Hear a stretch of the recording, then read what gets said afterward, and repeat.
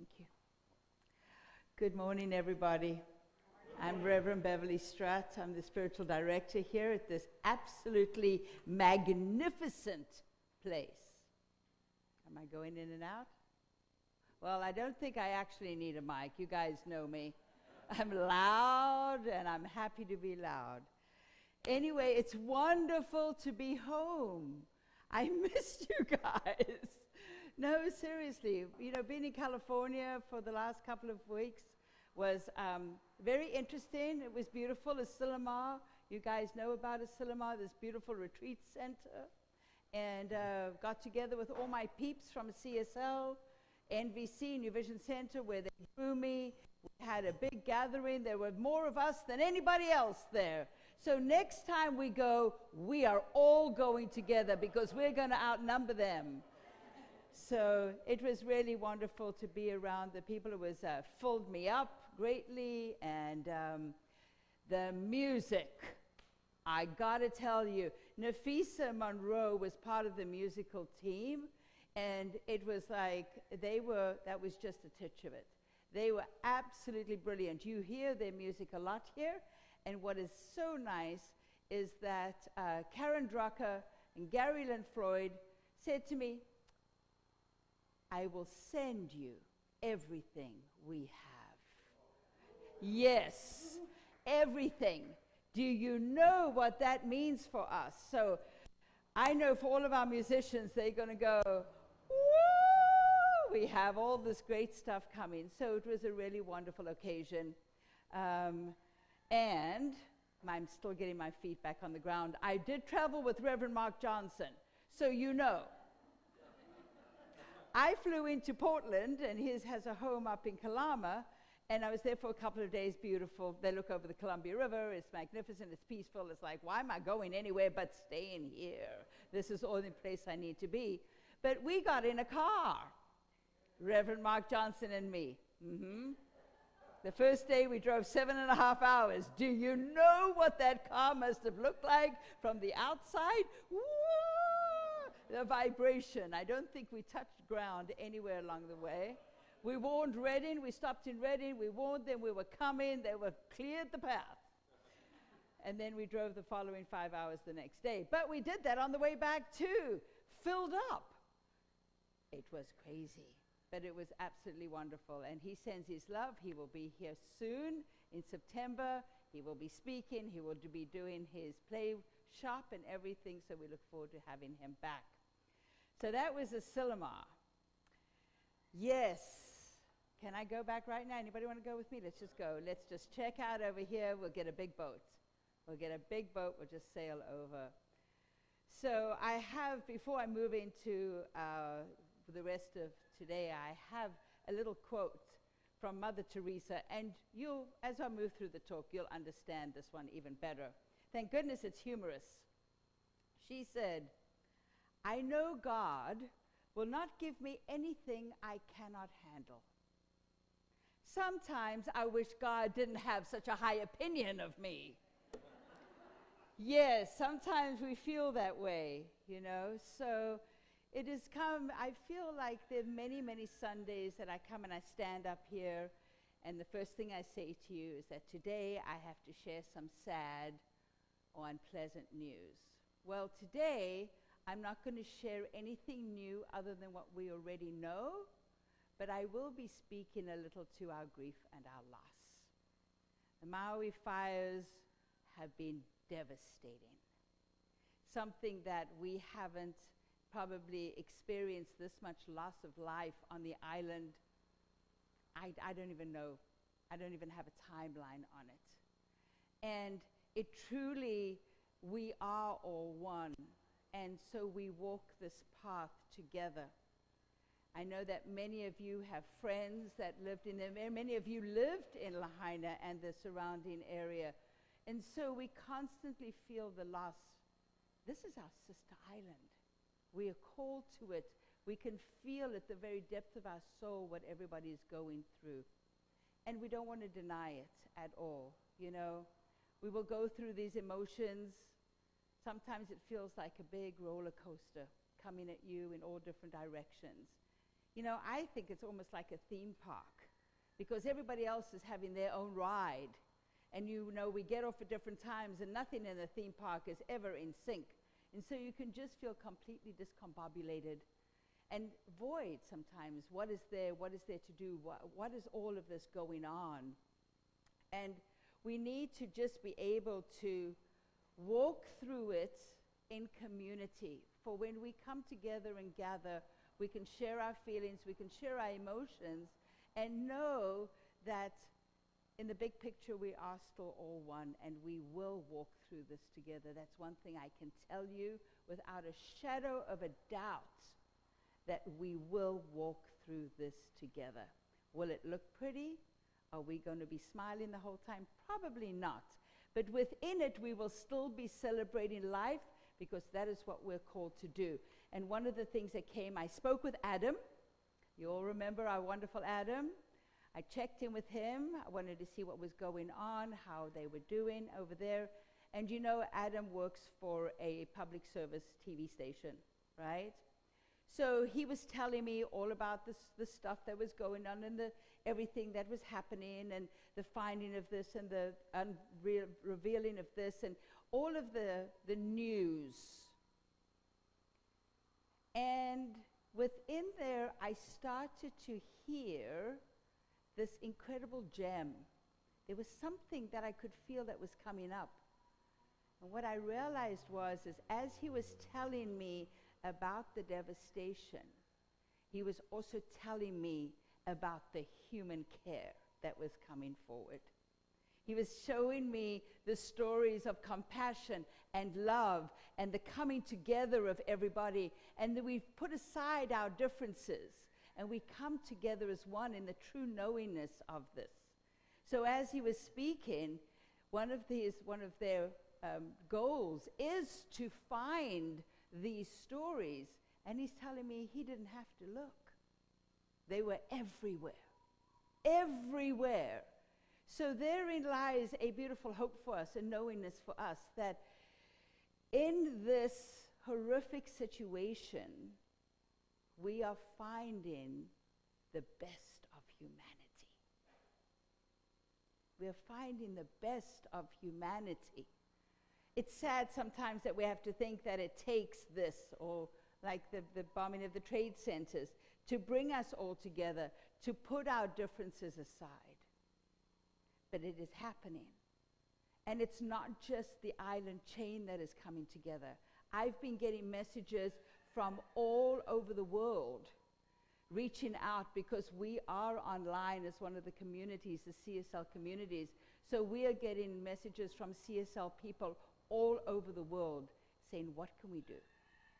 What can we do? How can we do this? How can we donate? Know you're in our prayers. I mean, Asilomar was crazy.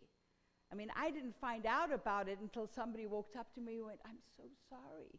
I'm like, because when I took off from uh, the Friday, when I took off from Hilo, we, we had to stay on the runway for a while because there was a brush fire outside of the airport on Maui. And so they were direct, uh, diverting planes to Honolulu. So I had, we had to wait. And then, of course, we were delayed in Honolulu as well. So I'm thinking, it was a brush fire when they walked up to me, a brush fire. And then I went and found the news. The through Asilomar, the power of prayer, the power of love was palpable. People were coming together. They were surrounding Reverend Mark and myself. Reverend Angelica Jane was there. Um, the whole West Hawaii CSL, there was a big contingent from there. So it was absolutely inspiring and uplifting to know how well we are held. Not just us as a community, but everybody and the whole of the the situation in Maui. So we, we stand there. We stand in that knowingness. And of course, we always want to ask the question why? Why the hell did this happen? We can look at the situations that were so unique that came together to create this. I mean, honestly, if Dora had moved one mile in the right direction, we would have had water we would have had rain.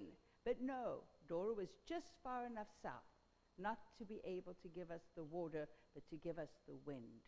The dryness in Maui, all of the, and I can go on. I sat with Reverend Mark and we went through all of the little details that were unique in that moment that came together to create this. And we go, why?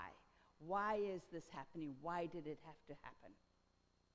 The one thing I want to tell you right up front it was not a punishment from God. Just to let you know, it was not a punishment from God, not our God, not the God that we believe in, not the God that is the creator, not the God that is the God of love. So if anybody wants to feel like we're being punished for being who we are as human beings, that is not the truth in this establishment, just so that you know. Our God is not a man in the sky that is sending down bolts of lightning and to punish us, there's no brimstone. This is not the way we look at it. Not at all. Is there consequence for action? Absolutely. There's always consequence for action. You know, there are things that, um, so when we look for these answers, you know, we want to still know why. And so we look back to nature. We look back to nature to see how nature works. Nature's constantly pulling itself back to balance. This is, these are the laws that we believe, these are the laws that we teach here. We teach this that nature will continue to evolve. There's always destruction and creation, and this movement is continual. It's going to happen. How it happened, the uniqueness of it, where it is, therein lies why we can't wrap our heads around it because it was beautiful, it was respected, it was old, it was tradition. There were people. There still are people we're finding lives that have been lost tremendously. So just to say, okay, well, it's nature getting itself in balance sounds really, really, really yucky. But it is also the truth of the matter that nature will do this. Dr. Ernest Holmes always said that, let me read it because the brain has to kick in still. It's still, it's still somewhere in an aeroplane. He said, um, he said that in nature, it won't let us hang around too long. I have to find where I am. Yeah, okay, yes. Nature will not let us stay in any one place for too long period. She will let us stay just long enough to gather the experience necessary to the unfolding advancement of the soul. There is a wise provision, for should we stay there too long, we would become too set, too rigid, and too inflexible. So he speaks to us that nature is not going to let us stay around. Well, it's not going to let anything stay around. Everything. We literally live on an island of destruction and creation. We see it in action every single day. But what we've also come to know is that we are in a period of time that is moving to a new paradigm. A new paradigm. And this paradigm that they've called it is a paradigm of holism, which in effect that what comes into that paradigm of holism is so much of what we desire so much of how we want to see our lives walk out in the world, the compassion of humanity, the moving back to the compassion of the land, using the land well, being in so many different ways. Everything that we are asking for is coming forward in this new paradigm. The hard part is, is that in order for something new to come forward, some of the old has to be removed. I mean, we can just see it as we would remodel a home. You know, we go in and we want to let go of what no longer serves us in our home. And what do we have to do? We have to get it out. We have to remove it. We have to get it put away in order to allow the new to come in. And what we hope that we do with our own homes is allow in the new that's going to serve the life that we want to live and to support it how we want to walk it out in a new way, a healthier way, a way that encompasses this feeling of an earth that is moving in the direction that we are asking for. Unfortunately, it happens as well like Lahaina. Lahaina happened, there's nothing about Lahaina that needed to go away. But we hope and pray that where there has been a space made available, that what comes forward is in alignment with the new way of life that we want to live. Where we live in community, we live greater peace, we live greater interconnectedness, we live greater compassion and understanding for each other and the land around us. So that's what we can do. That's how we can do. That's what we can pray for. For we know the cycle of destruction and creation will happen no matter what we choose or where we choose for it to be. It's going to happen. Nature will do this. The laws of the universe will do this. And that is the God that we honor in this place and in this space. It is a God of love, and yet it's a God of creation. It creates in love, and naturally, in nature, destruction happens before the new can come forward. I'm not saying that we're not mourning. I'm not saying that it's not devastating, not at all. But I do want to come to you from a point of view of the teaching that we bring forward. And we will walk this out together. I do have a plan. Anybody question that? I do have a plan. We all have a plan.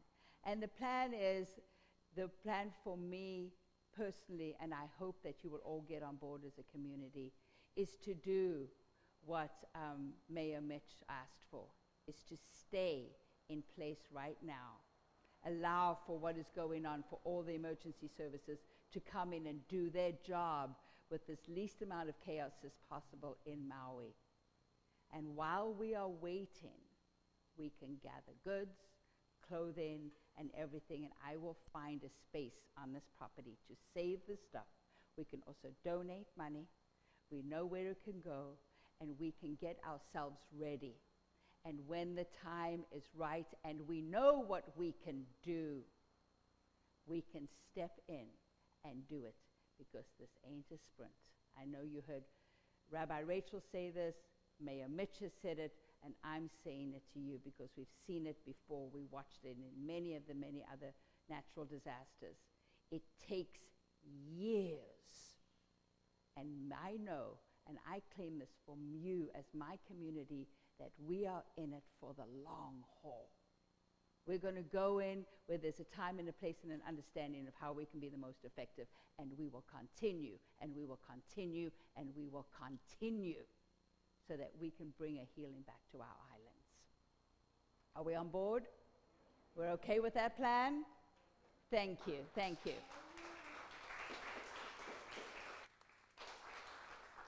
So here's the thing, in complete honesty with all of you. This is my first kind of disaster like I'm dealing with in the position I'm in. Do I know what to do? I have no freaking clue. None. None whatsoever. But I do know that there are many people in this community, in the greater community, and the greater community that do know what to do. So, what I plan on doing for myself is to reach out, to find the contacts, to see where we go. Beloved Sandy has worked through this before. Her and I are going to work together. So, what I'm going to do is make sure that we align ourselves with the people that can guide us to be the best advantage to the situation as we possibly can. So that's what I'm going to do. That's how I'm going to walk out these next steps over the next couple of weeks is to find out, to open myself, to align myself with those that are doing it and can guide and know what they're doing in a time like this. You know why I feel so passionate about it? Because you know what the topic is for this week. It's finding your passion. So, what I just said about aligning with the people that know, that can guide us to how we can do our best work, that's the same way as we find our passion. It's the same way of doing it. We don't know, most of us don't know what our passion is. In fact, one, two, three, four, five, six. On Thursdays, Conversations in Consciousness, it came up. And I told them all, they've given me, I can say whatever I want. It's, it's, a, it's a nice, closed, confidential group. And they went, yeah, go with it, whatever, build your talk. So in that group, we were talking about what is your passion? And a lot of us have no idea because we think passion should be big and bold and red and affect everybody and really. Well, no, no, no. Not all passions look the same. Passions can be quiet, passions can be unassuming.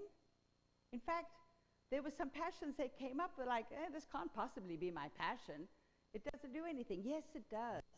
It serves you as you serve humanity in your own specific little way. And I say little because we're little. Most of us were little. But little's a lot. Have you ever seen a little snowflake? It's about this big. Have you ever seen an avalanche? Yeah. So you might be think you're little, but you put yourself together with other people. We've got an avalanche going over here. So our passion, we want to look for our passion to see what it is, to go in and find out how we want to do this. And the most important thing we need to do is nothing at all. Joan, thank you for that. The most important thing we need to do is nothing at all except align ourselves with the divine. Because if you don't know what your passion is, even though it's already in you, blueprinted in, you came in, created, fully formed, boom, it's in there. But you know, we have so much stuff all over us. You like the way I use the word stuff and not shit? We have all this stuff all over us that we can't even find that beautiful base cause that is what is ours to do on this planet. Because we're like, good enough. Yeah, yeah, that's all going out of the window because when we align ourselves with the divine, we are allowing the divine to reveal to us what it put in us in the first place. We don't have to guess. We don't have to guess. And yes, it changes. It'll go from one time I was an adamant, I was a dancer. I was going to be a dancer. And yes, I was. Well, then I got old. Well, I'm not going to dance anymore. What's next? What's my next passion? Yeah, I wrote thousands, well, no, not thousands, hundreds, no, no, no, tens of business plans of things I can do. Sure. Yeah, they sucked. I'm like, no, no, that, uh, hey, I need fire behind me. But it's not the fire for the rest of the world to see, it's the fire to ignite me. What lights me up? What lights you up? Go in and find that. You know, we have people that love sharing their love. How do they share it? So many different ways that we care for people. We don't have to do a thing. And as Joan quoted last week, all we have to do is be you. All you have to do is show up as you. So I don't want to hear anybody go, well, you know, I, I love doing this, but it's not such a good thing. I mean, we had a passion come up for cooking. We had a passion come up for shopping. Do you notice in both those things, they don't seem very big, but they nurture other people. We have a passion for throwing love. It's nurturing other people. There's no greater calling in this life, in this earth, than to be called to nurture and be with other people, to lift them up, to raise them up. And how do we find our way? Because we can discredit all of those things around us. We just align ourselves with the divine, just as I'm going to align myself with the right knowledgeable people in town. We align ourselves, and as we do that, we will see what is revealed, what is ours to do. Just as we will re- be revealed through our own tasks, where will our talents be the most useful? Where will our energy be the most useful? When you align yourself with the divine, your passion is going to show up beautifully. It may not be loud, it may not be red. It can be quiet. It can be calm.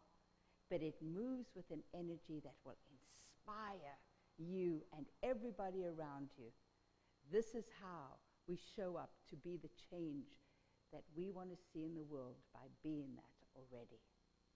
When I spoke about Nafisa Monroe earlier on, I don't know that this is the truth, but this was my imagination around her that she's been an actress, she's been um, a writer, she's been doing all of those things. And when she surrendered to being aligned with the divine, she found her passion, her purpose in her spoken word, in the writing of her spoken word.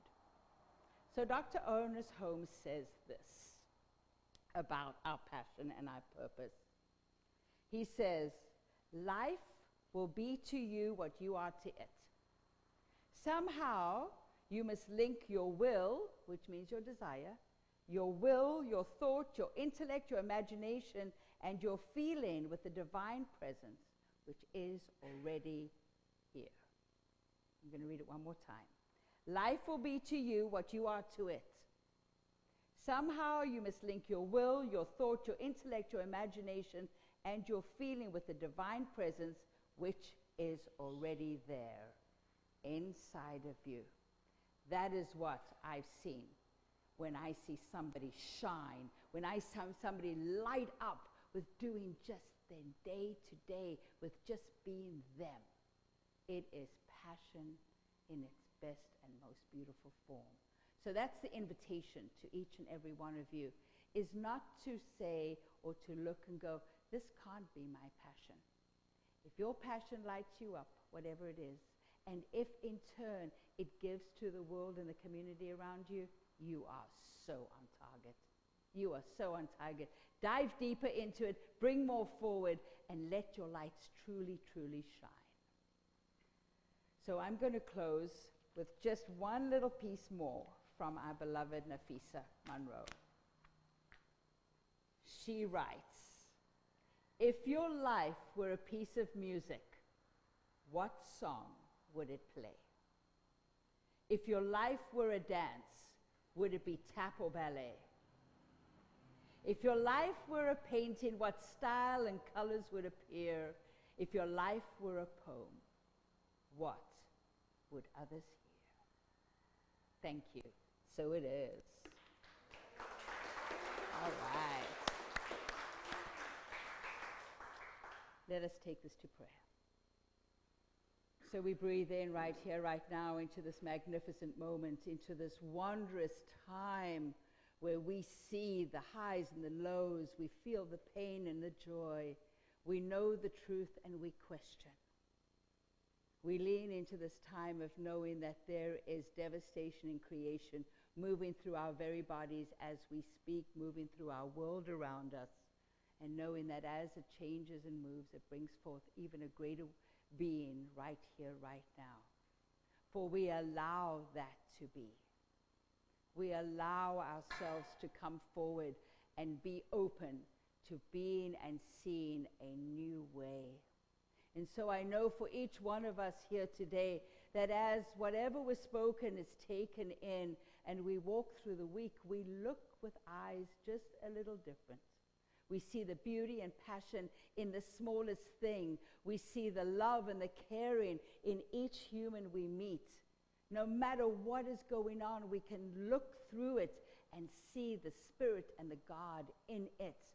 For we can see that back of everything is still this magnificence.